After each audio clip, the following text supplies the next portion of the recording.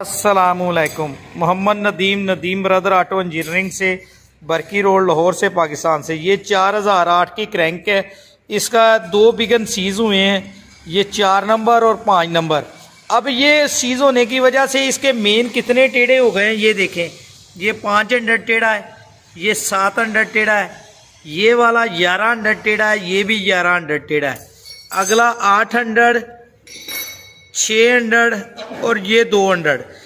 इस crank shaft को भी सीधा करना पड़ेगा। और फिर ये दस पे ग्रैंड होगी या फिर सिलेंडर पे चल सकेगी। तो इसके मेन जो सीज़ हुए हैं, वो भी ग्रैंड करने पड़ेंगे।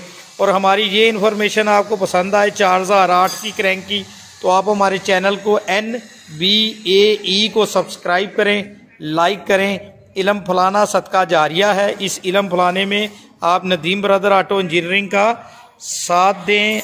अल्लाह हाफिज। ये एक चार हज़ार छः की भी है। असलकुम Mohammad Nadeem Nadeem brother auto engineering से हमारे अदारे को, जो कि बरकी रोड लाहौर में वाक़ है, ट्रैक्टर मकैनिक, खरादिया, बोरिंग मैन हेडमैन और क्रैंक ग्राइंडर मैन की ज़रूरत है। जिसके किसी का अज़ीज़, रिश्तेदार, दोस्त इस फ़ील्ड से रिलेटेड हो, वो काइंडली हमें रबता कर सकता है। इन अफराद की हमें फौरी ज़रूरत है। अल्लाह हाफिज़।